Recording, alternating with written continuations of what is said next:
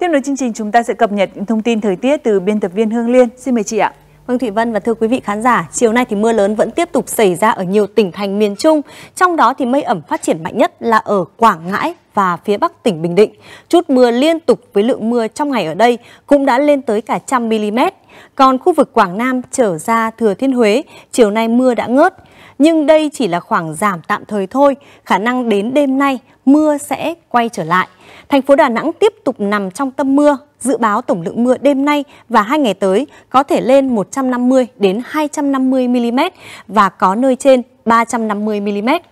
Nguy cơ cao tái diễn tình trạng ngập lụt ở các vùng trũng thấp như quanh tuyến đường Mẹ Suốt, quận Liên Triểu.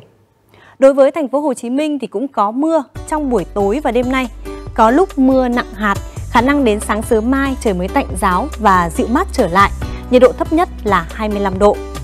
Thủ đô Hà Nội trời vẫn tạnh giáo, đêm nay sáng sớm mai duy trì tiết trời xe lạnh, nhiệt độ thấp nhất chỉ 23 độ.